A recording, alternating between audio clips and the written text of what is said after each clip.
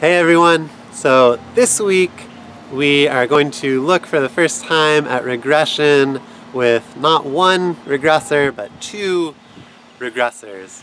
And perhaps surprisingly there's actually a lot of new concepts that come up even when we just have two regressors and each of them is binary. Um, so in a future chapter we'll try to extend this to more than two regressors and non-binary regressors. Uh, but for now, we'll look at regression models with two binary regressors and uh, again, focus on thinking about interpretation of the different regression coefficients. Um, and in particular, something I think is interesting is looking at a case where one of those regressors actually refers to a time period.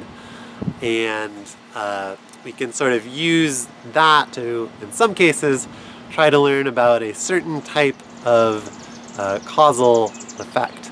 So I hope you're intrigued and I'll let you get to it.